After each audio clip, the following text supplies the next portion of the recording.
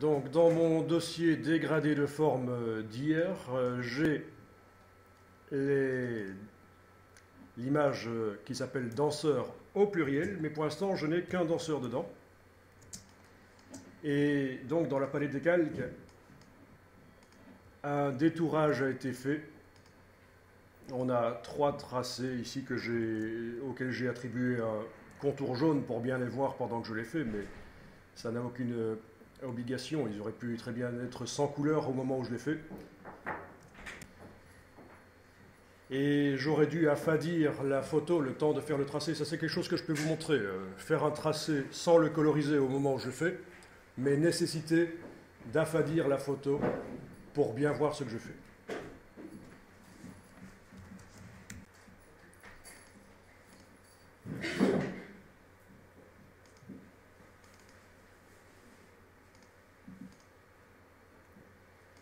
Ici, j'ai ajouté la deuxième photo, euh, celle de la danseuse. Et j'ai créé un tracé autour. OK Donc ça, ça peut prendre du temps quand on est débutant, mais euh, c'est quelque chose, euh, il faut s'y habituer. Il faut arriver à faire ça rapidement. Ici, les tracés ont servi à faire des masques euh, sur les danseuses. Le tracé ici est composite, il, il y a des trous, donc c'est un tracé complexe. Vous vous souvenez qu'on avait réuni en un seul objet les trois objets, le contour extérieur du danseur et les deux trous, en un seul objet, un tracé transparent qui a servi ensuite à faire un masque sur l'image du danseur. Je n'ai pas le mot masque transparent sur l'image de la danseuse parce qu'elle n'a pas de trou, si on peut dire. Manière de parler. Excusez-moi, j'ai un humour scabreux. C'est le matin. Bon, je ne fais que dire tout haut ce que tout le monde pense tout bas. hein. ok. Ensuite,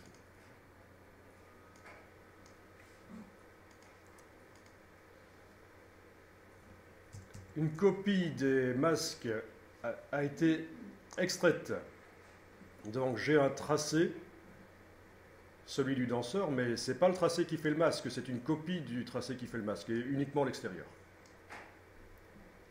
Même chose pour la danseuse.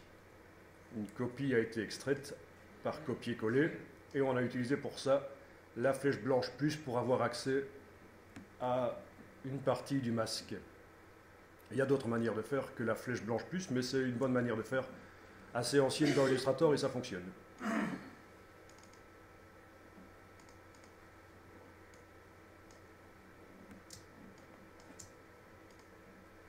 Donc ici, pas de changement. Ah si, il y a un changement. C'est que une moitié du tracé qui a été extrait, une moitié a été supprimée. Et pour ça, j'ai utilisé les ciseaux pour couper le tracé. Et puis j'ai éliminé une des moitiés. D'accord? Et pour le danseur, même chose. Voilà.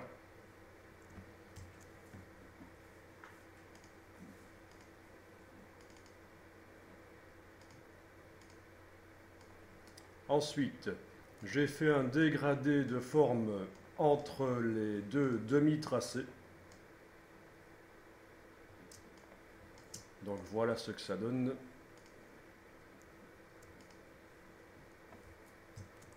Bon, le tracé, les, les dégradés de forme passent devant les danseurs parce qu'il est au-dessus dans l'empilement des calques. Mais si je le mets en dessous, les danseurs passent par-dessus. On est d'accord.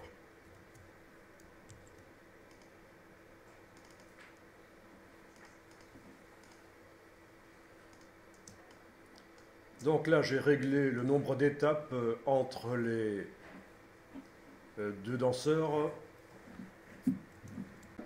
J'ai changé la couleur et l'épaisseur des tracés. Donc je les ai différenciés.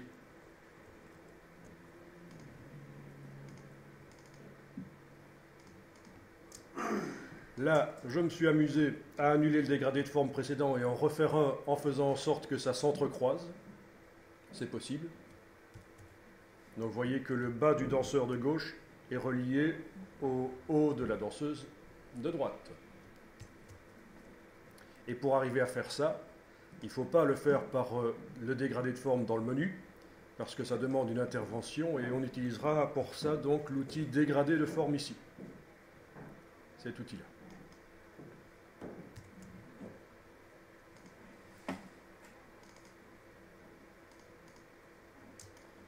Ici, j'ai diminué le nombre d'étapes encore, tout simplement. Voilà. ceci n'a pas d'importance, je vais le supprimer. C'est des choses qu'on fera, mais par la suite.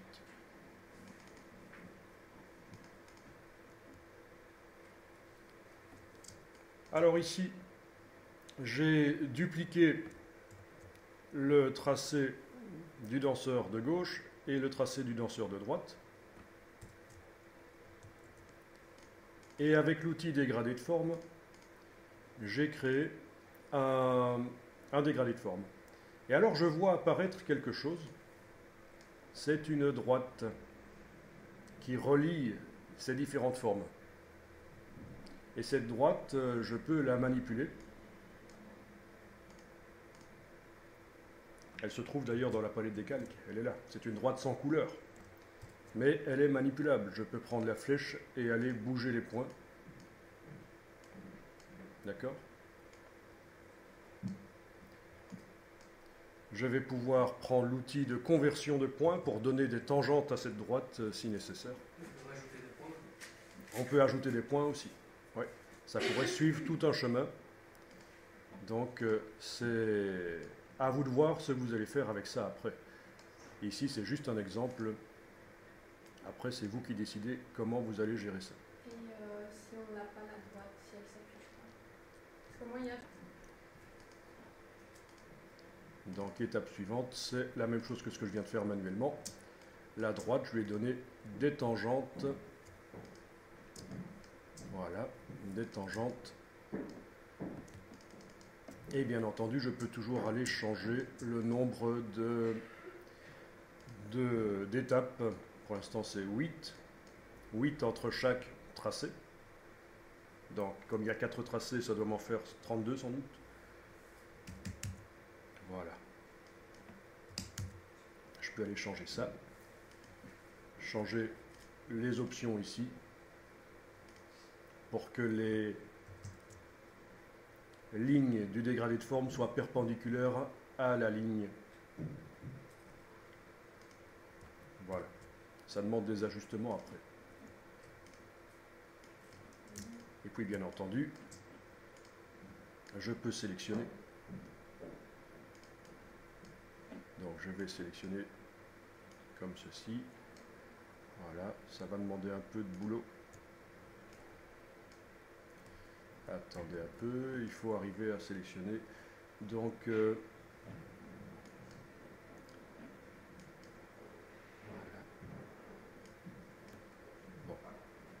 il faudra euh, tester et manipuler ça. Puis après, on fera des, euh, formes, des fonds abstraits grâce à ça, donc sans démarrer nécessairement de silhouette des danseurs. Alors, je vais vous refiler la danseuse déjà détourée. Donc il faut que je repère lequel c'était. Voilà, voyons un peu ça.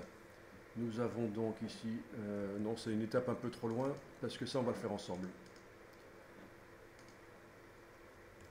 Ça aussi.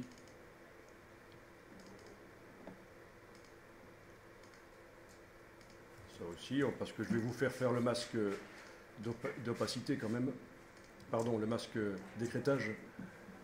Voilà, donc c'est ce que je vais vous refiler, que vous allez pouvoir télécharger euh, sur, euh, via le net. Donc je vais l'enregistrer ici parce que je suis dans CS5 et vous êtes dans CS4, donc je vais l'enregistrer de manière à ce que euh, vous puissiez l'ouvrir sans problème. Je vais simplement indiquer que c'est pour CS4. Mais évidemment, ce n'est pas ça qui suffit à ce que ce soit ouvrable dans CS4. Il va falloir ici que je rende compatible ce document avec une version antérieure et c'est là que je choisis dans la boîte des options Illustrator.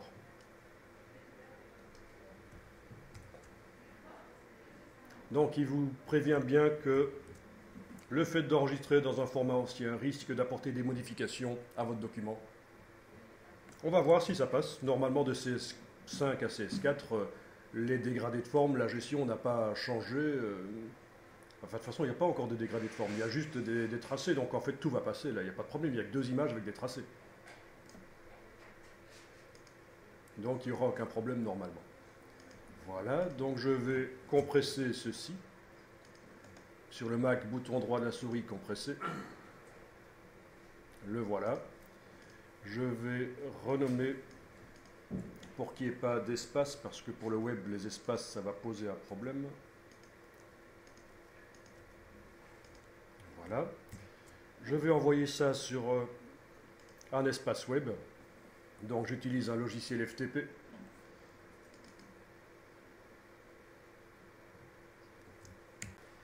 Donc le fait de démarrer sur ce document que je vais vous mettre au téléchargement, ça va vous éviter de devoir faire tout le tour de la danseuse à la plume, parce que ça peut prendre 10-15 minutes quand on est débutant.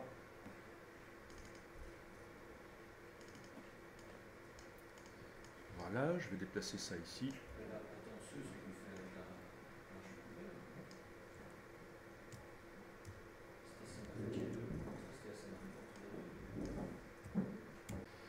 Donc, euh, je vais vous montrer le chemin pour euh, arriver à télécharger ça. Donc, c'est via un navigateur web.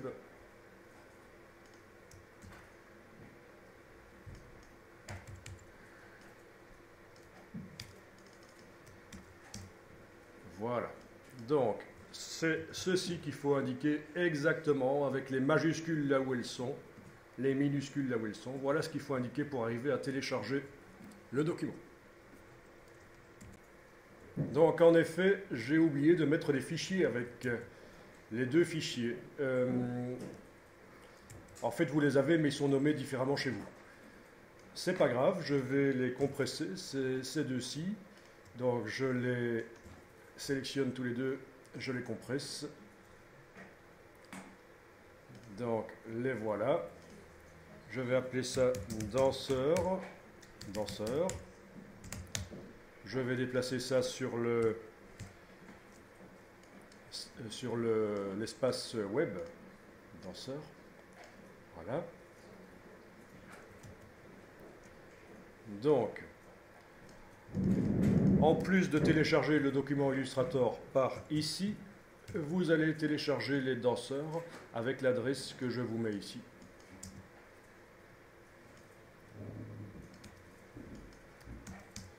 Voilà. Donc je vous mets les deux adresses pour télécharger à la fois les images utilisées par le document Illustrator et, le document Illustrator.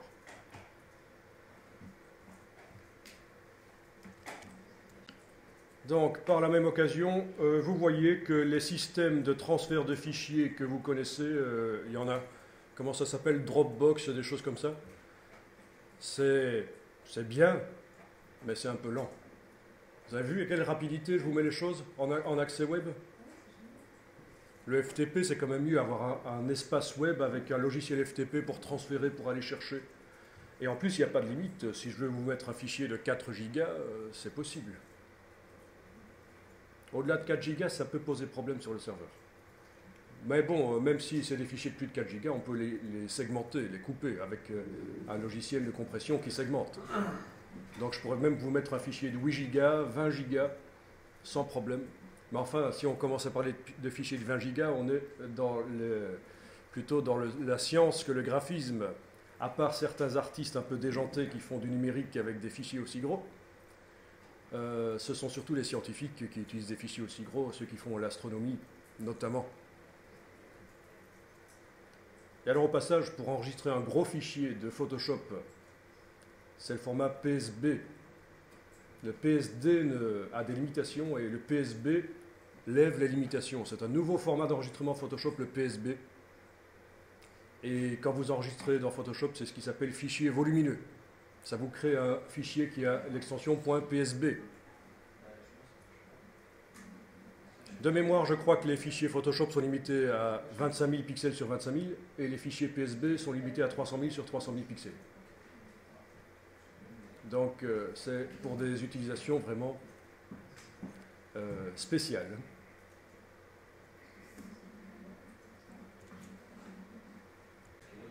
Donc une fois que vous avez téléchargé ça, il faudra évidemment que les deux photos décompressées se trouvent euh, au même niveau, juste à côté du fichier Illustrator qui, qui fait appel à ces photos. Voilà. Et puis quand vous ouvrirez,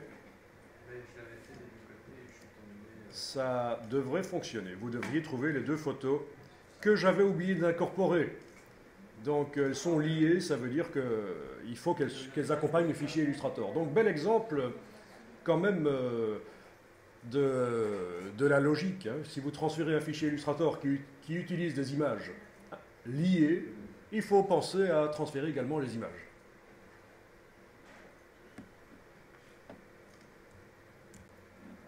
Alors, euh, je vais dans la palette des calques, j'ouvre le calque et je vais sélectionner avec la touche euh, commande euh, enfoncée ou contrôle du PC, commande du Mac, contrôle du PC, je clique sur les cibles pour activer les trois tracés qui créent le masquage, qui vont créer le masquage sur le danseur.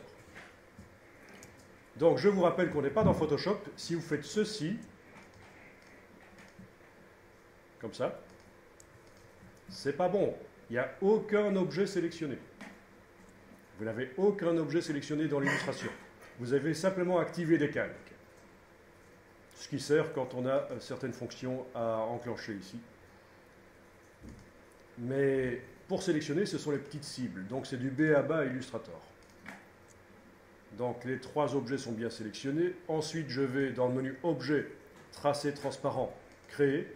Je n'ai donc maintenant plus qu'un seul objet, c'est exactement ce qu'il me faut si je veux m'en servir comme masque. Ensuite, j'active, en plus du tracé transparent, j'active l'image du danseur qui est en dessous. Et je demande objet masque d'écrétage créé. Et voilà, vous avez fait un, tracé, euh, un tracé de détourage dans Illustrator.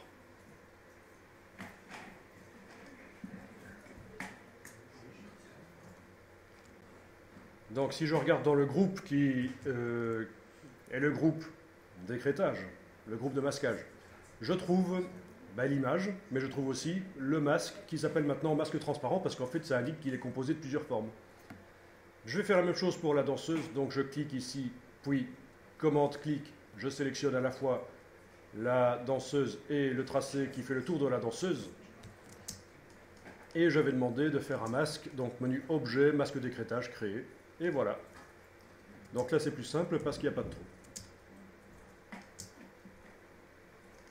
Et il m'indique, si j'ouvre le groupe de masquage de la danseuse, il m'indique qu'il y a un masque. Voilà, voilà.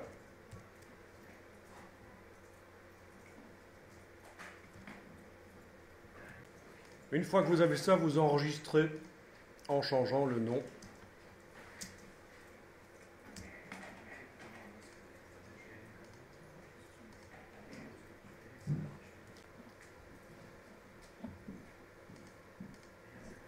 Alors, je prends la flèche blanche avec un signe plus.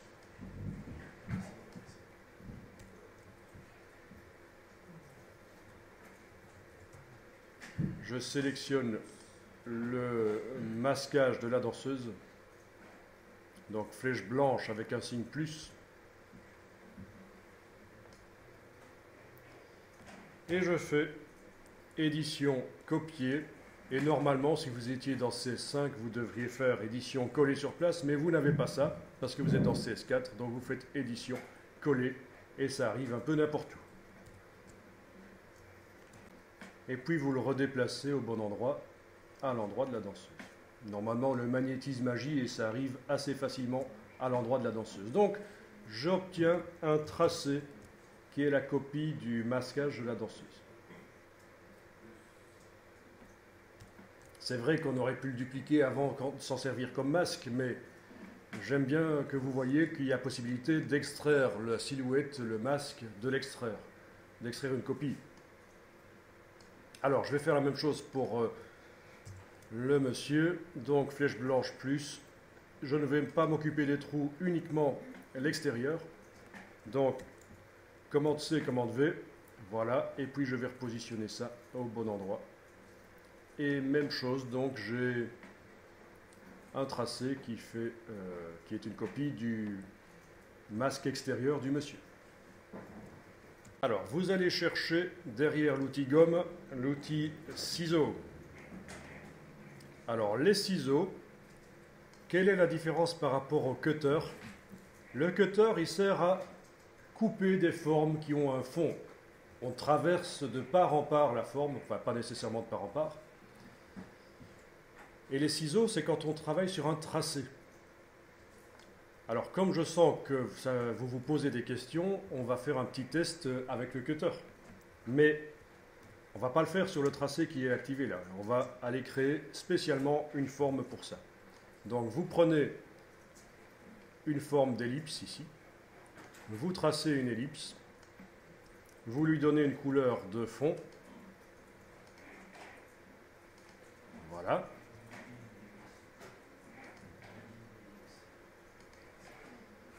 Et avec le cutter, vous allez traverser de part en part l'ellipse comme ça. Voilà. Ok.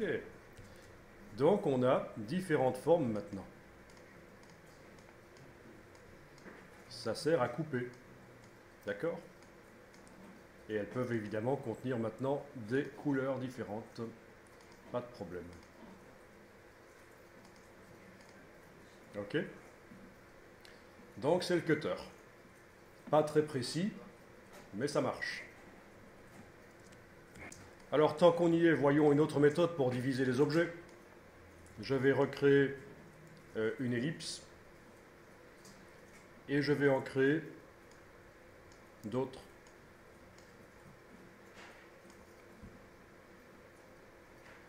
Voilà. D'accord? Donc si je regarde dans la palette des tracés, j'ai différentes ellipses qui se euh, superposent. Je vais aller chercher la palette Pathfinder, donc je suis passé en affichage tracé, là vous connaissez évidemment. Hein. Menu affichage pour voir les éléments et menu affichage aperçu pour voir les couleurs. Bon, alors, menu fenêtre Pathfinder. Si je sélectionne toutes les ellipses et que je demande division. Voilà. Qu'est-ce que j'obtiens? Normalement, je vais obtenir, je clique à côté. Alors oui, ça a été mis dans un groupe, donc si je veux y avoir accès, j'ai intérêt à prendre la flèche blanche plus. Parce que c'est mis dans un groupe. Et si j'utilise la flèche noire, ça sélectionne tout le groupe. Donc je clique à côté avec la flèche blanche plus, et puis je peux séparer les éléments. Donc vous voyez que les éléments se sont auto-coupés l'un l'autre. Donc intéressant ça. C'est encore une autre manière de faire. Plutôt que d'utiliser le cutter, vous pouvez utiliser donc euh, le, les objets qui s'entrecroisent et qui s'autocoupent. Vu? Bon. Je m'éloigne un peu du sujet sur lequel on était, mais c'est l'occasion de parler de ça. Ce sont des choses intéressantes, parce que ça vous permet de créer du graphisme rapidement, ce genre de choses. Bon. Évidemment, on n'est pas obligé de les séparer, on peut les coloriser sans les séparer. Donc ça permet de créer rapidement du graphisme.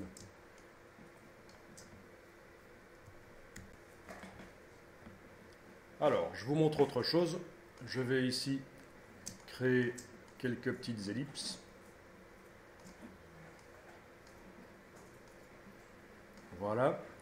Je vais créer une étoile que je mets par-dessus. Elle pourrait avoir la même couleur, mais pour qu'on comprenne, je vais lui donner des, une couleur différente. Voilà. OK Donc, j'ai l'étoile qui est au-dessus des trois ellipses, on le voit. L'étoile est au-dessus des trois ellipses vertes. Encore une autre manière de découper les objets. L'étoile seule est sélectionnée, uniquement l'étoile. Et je demande objet, tracer, diviser les objets inférieurs. Donc les objets sur le calque vont être divisés.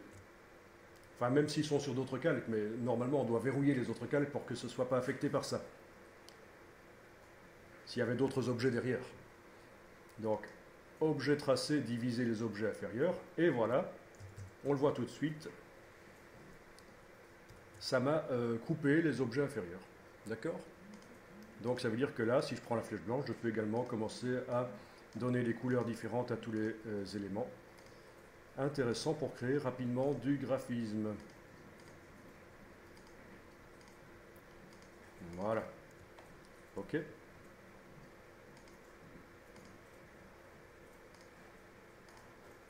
Donc ce n'est pas exactement la même chose que l'option euh, division du Pathfinder, parce que division, vraiment tous les objets s'entrecoupent. Ici, c'est uniquement l'étoile qui a coupé les objets d'en dessous.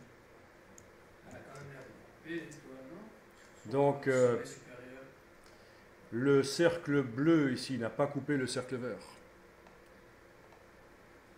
D'accord? Donc, c'est uniquement l'étoile qui a coupé ce qui se trouvait en dessous mais les objets ne se sont pas entrecoupés eux-mêmes, les cercles ne se sont pas entrecoupés. Donc ce n'est pas la même chose que la fonction division. Voilà, voilà. Et évidemment, ça fonctionne aussi avec une ligne. Donc si j'ai différents cercles ici, ou quoi que ce soit comme forme d'ailleurs,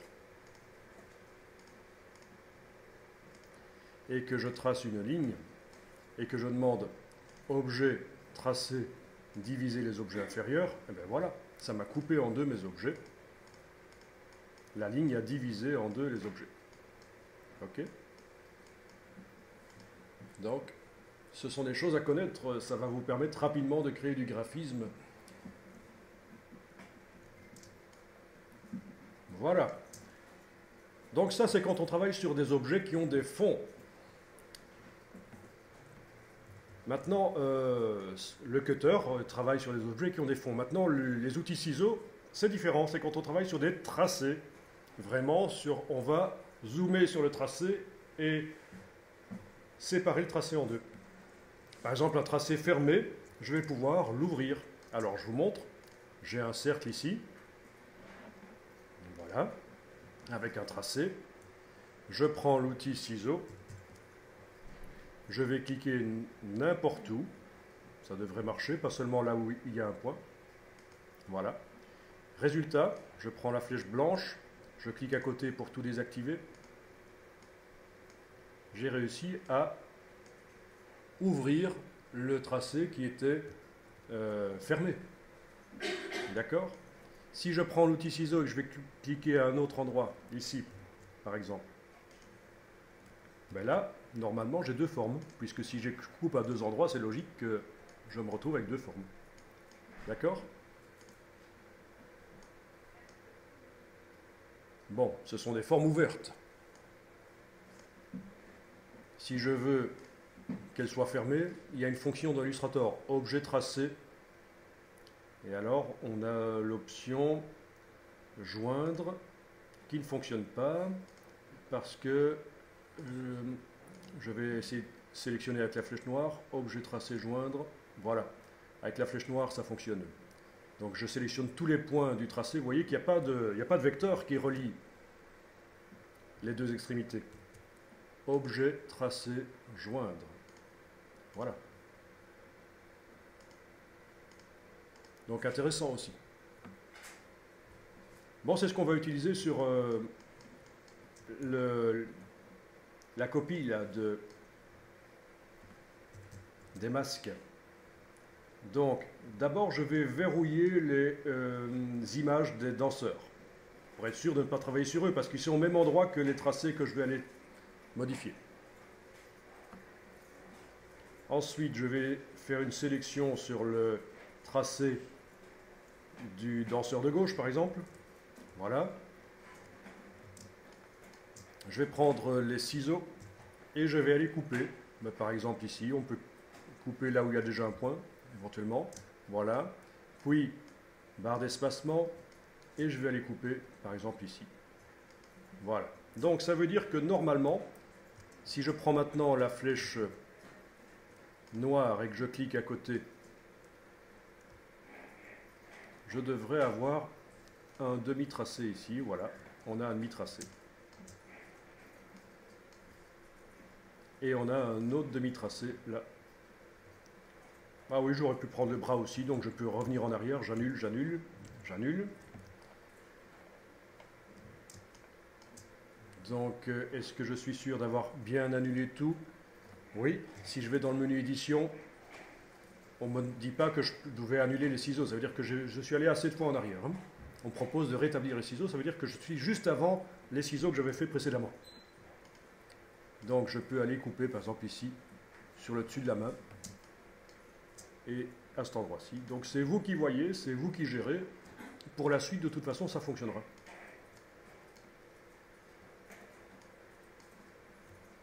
Voilà, je supprime. Et j'ai donc un trait auquel je peux donner une couleur de contour et une épaisseur si je veux. Voilà. Après, on changera si on veut. Eh bien, je vais faire la même chose sur la danseuse. Je sélectionne le tracé de la danseuse, enfin le tracé, la copie du masque. Je vais zoomer là-dessus. Je prends les ciseaux je vais aller couper, euh, on peut couper ici par exemple, c'est vous qui voyez. Couper ici aussi. Donc ça veut dire que maintenant, si je prends la flèche noire et que je clique sur la partie droite, c'est un demi-tracé que je peux supprimer. Et il me reste l'autre demi-tracé auquel je peux donner, si je veux, une couleur de contour. Voilà.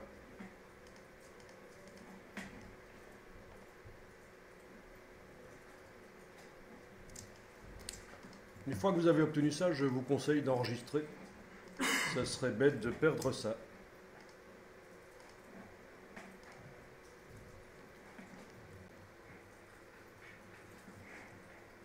Alors ça m'étonne que personne ne m'ait posé la question.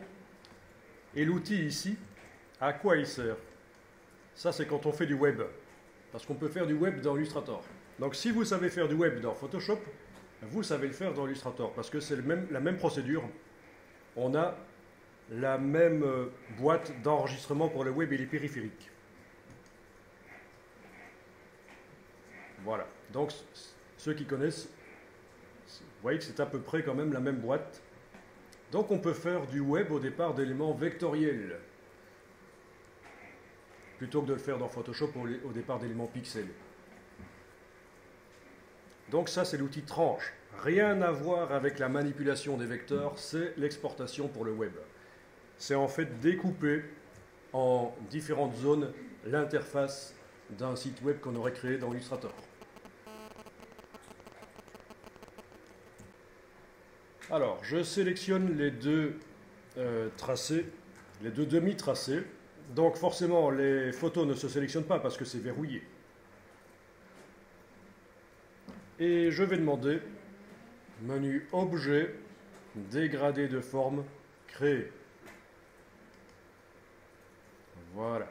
Alors, il se trouve que j'avais été modifié auparavant les options de dégradé chez moi et ça n'arrive pas comme chez vous, mais je vais ici dans Objet, dégradé de forme, option de dégradé et c'est certainement ceci que vous avez en fait, quelque chose qui ressemble à ça. Qui n'est pas tout à fait inintéressant on pourrait mettre euh, de la transparence dessus, euh, faire des effets. Mais c'est une autre histoire. Donc, vous allez dans Objet, dégradé de forme, option de dégradé. Vous passez de couleur lissée à étape et vous choisissez le nombre d'étapes. Par exemple, si j'en choisis 12, touche tabulation pour valider, j'ai 12 étapes, évidemment. On pourra y aller autant de fois qu'on veut. Ensuite, avec la flèche blanche, on peut sélectionner un des deux tracés et modifier, si on veut, son épaisseur par la palette contour, menu fenêtre contour. Voilà. Ah, s'il n'y a plus aucune épaisseur, il disparaît complètement, évidemment. Voilà. Et l'autre tracé, avec la flèche blanche aussi, ou blanche plus, hein, en tout cas pour arriver à sélectionner une partie de ce système de dégradé de forme. C'est certainement pas la flèche noire qu'il faudra utiliser.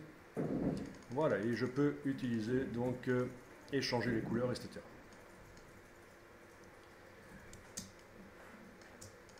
Donc voilà, et si je voulais que les personnages viennent devant, je devrais déplacer les groupes.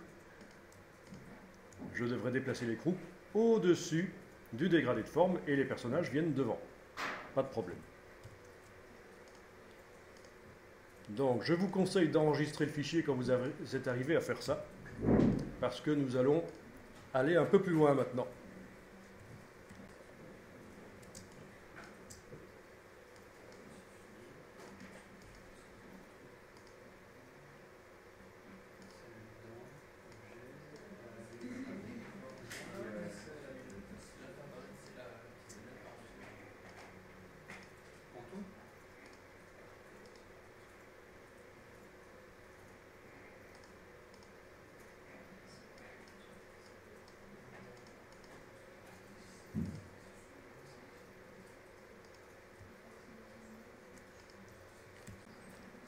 Donc, en ayant le dégradé de forme sélectionné, je vais l'annuler. Objet, dégradé de forme, annulé. Donc, je récupère mes deux tracés de base. Voilà, le groupe de dégradé de forme a disparu et j'ai mes deux tracés de base, mes deux demi-tracés de danseurs. Voilà, et cette fois-ci, on va utiliser l'outil dégradé de forme pour créer le dégradé de forme. Donc vous avez vos deux tracés sélectionnés, activés. Vous prenez l'outil de dégradé de forme. Je vais par exemple aller cliquer sur le dessus ici. Voilà.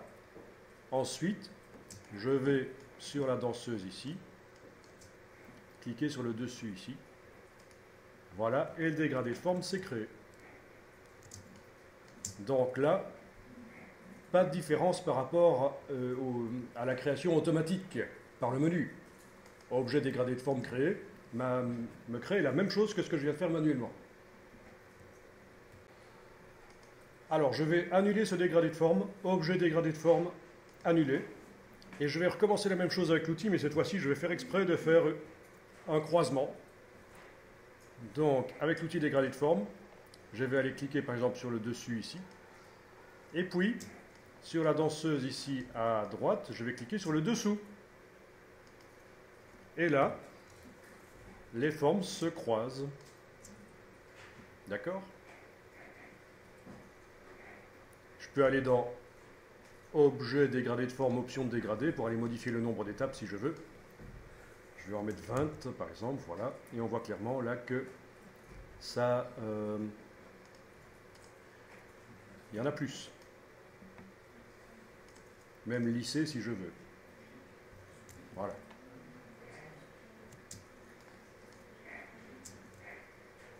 Ça peut être intéressant.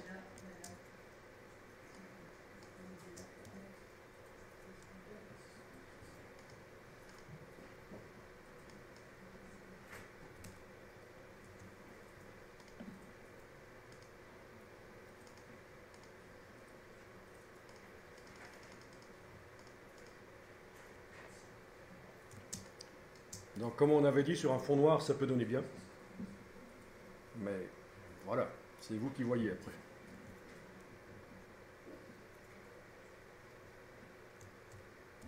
Bon, alors je vais annuler le dégradé de forme, je le sélectionne dans la palette des calques. Objet dégradé de forme annulé. Voilà. Je vais éloigner la danseuse et le danseur donc pour arriver à faire ça, je vais déverrouiller les groupes. J'englobe avec la flèche noire tout ce qui concerne la danseuse. D'accord Avec la flèche noire. Donc qu'est-ce qui se sélectionne dans la palette des calques? Ben, Le groupe de la danseuse et le tracé, le demi-tracé qui est attaché à elle. Voilà, je vais pouvoir donc mettre un peu d'espace entre eux. On ne s'occupe pas de la page A4 pour l'instant. D'ailleurs, je pourrais aller dans le menu affichage, demander de masquer les plans de travail. Comme ça, ma page A4 ne me gêne plus. Une fois que j'ai déplacé la danseuse assez loin du danseur, je peux reverrouiller les groupes des photos avec les masques d'écrétage.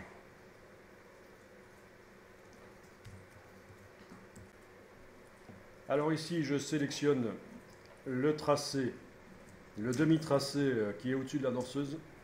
Donc je vous rappelle que les groupes des photos avec leur masque d'écrétage sont verrouillés. Je n'arrive pas à les sélectionner. C'est exactement ce qu'il faut. Et je vais déplacer avec la touche Alt. Je déplace comme ceci et ça m'a créé donc une copie. Donc maintenant j'ai deux tracés, deux demi-tracés pour la danseuse. Voilà. Si je veux, je peux faire la même chose pour le danseur. Donc avec la touche Alt, je déplace le demi-tracé et j'ai donc deux demi-tracés maintenant pour le danseur.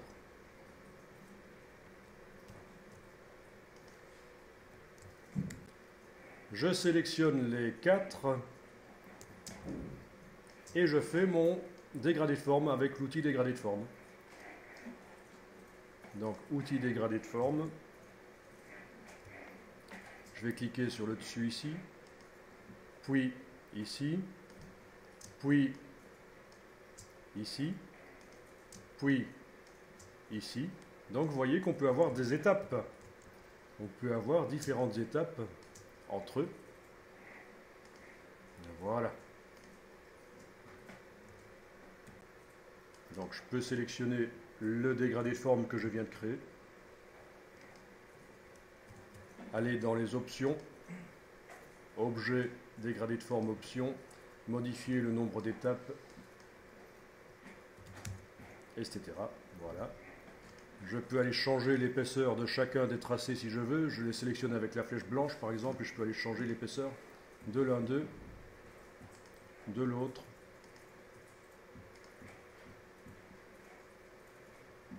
Ok?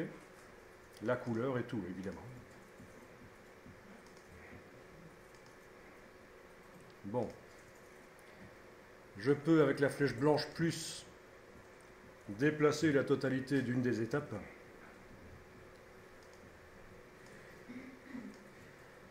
Voilà. L'autre aussi. Flèche blanche plus.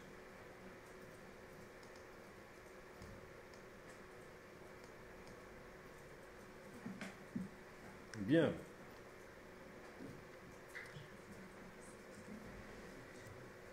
Donc flèche blanche plus pour avoir accès à une partie du système. Et alors on voit la ligne, la fameuse ligne qui relie les étapes. Donc dans mon groupe de dégradé de forme, il y a, en plus des quatre formes qui feront le dégradé, il y a une ligne. Alors ces angles sont droits, mais si je prends l'outil de conversion qui se cache derrière la plume tout en bas ici, je vais pouvoir cliquer, glisser pour mettre une tangente et donc gérer la courbure. Voilà. Donc c'est vous qui voyez.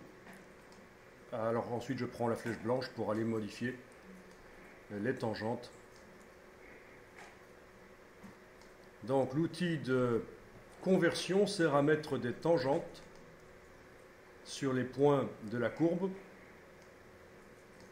et la flèche blanche sert ensuite à bouger les points de la courbe et à bouger les tangentes s'il faut.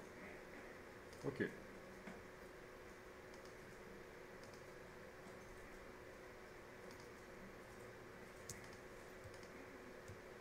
Bon.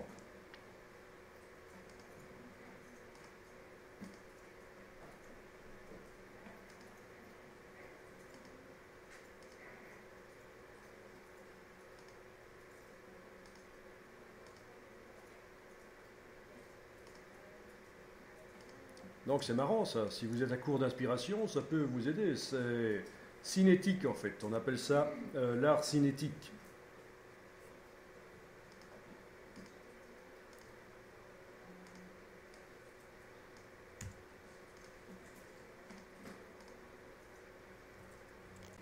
Alors ici dans euh, Google, je vous ai euh, fait une recherche sur Kinetic Art qui veut donc dire art cinétique. Et vous allez trouver plein de choses qui ressemblent un peu à ça en fait. On appelle ça aussi de l'art optique. D'accord?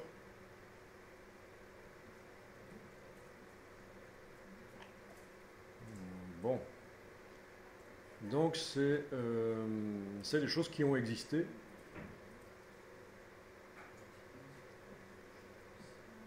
Bon, je vous laisserai découvrir ça si vous voulez. Et aussi dans Wikipédia qui va vous expliquer ça.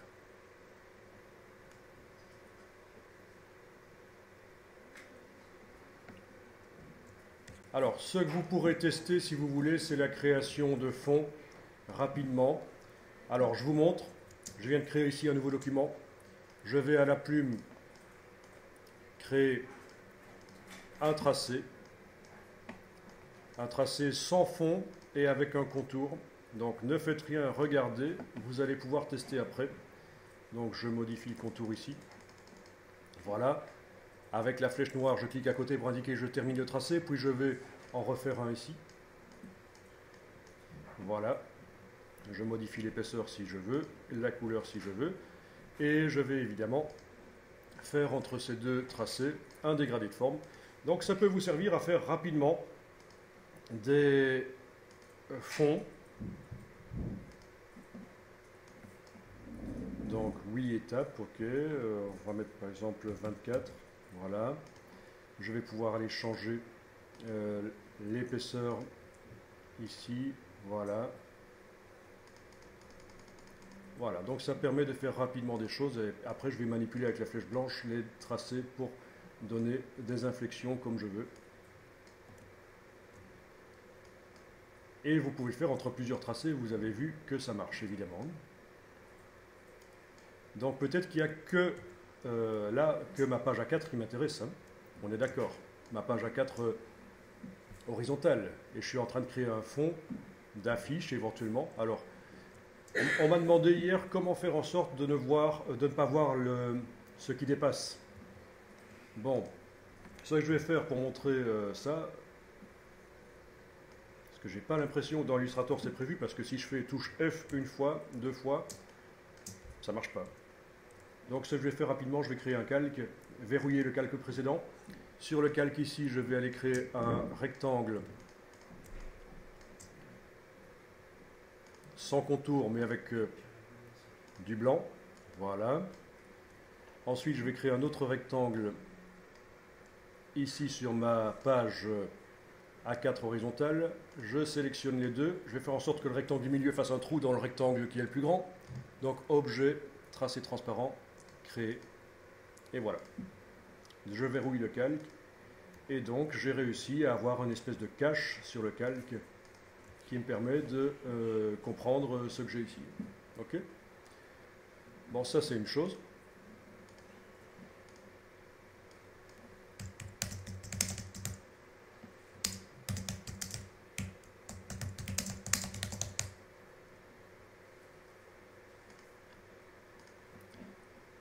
Ensuite, vous pourrez essayer aussi avec des formes qui ont euh, des fonds. Par exemple, si je crée ici une étoile avec un fond.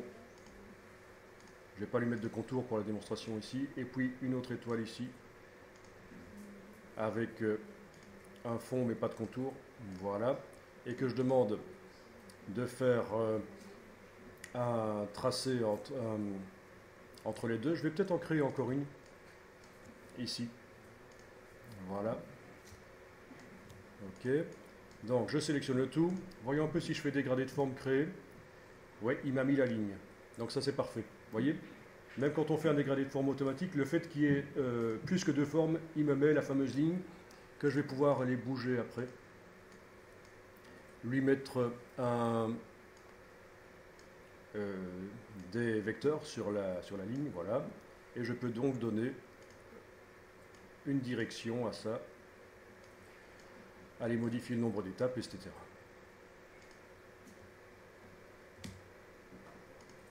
et les couleurs, etc. Bon, donc tout ça euh, peut éventuellement vous servir. Alors, si je mets des contours aux étoiles, ce sera peut-être intéressant.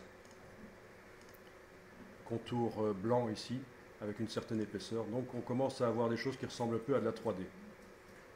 Ça va faire plaisir à certains dans la classe. Voilà.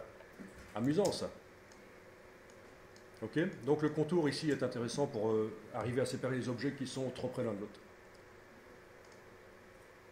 Je vais augmenter le contour ici, éventuellement sur l'étoile. Euh, voilà. Donner les effets de vitesse euh, du graphisme créé automatiquement en quelque sorte. Voilà, voilà. Alors ici, ce que je vais faire, c'est qu'avec la flèche blanche, je vais sélectionner l'étoile qui est tout à la fin ici et je vais lui donner de la transparence parce que je voudrais que ça vienne de nulle part en fait. Donc, euh, palette de transparence, je vais pouvoir aller modifier la transparence, vous voyez. Voilà. Donc, c'est des choses auxquelles il faut penser aussi. Hein. On, pourrait jouer avec un masque d'opacité aussi, ça, ça pourrait fonctionner. Voilà. Ok, ok. Donc je vous laisse tester un peu ça. Donc avec l'outil transformation, je peux évidemment aussi tourner. Voilà. Donc il faut penser à tout. Ça peut être tourné sans problème, les différentes étapes.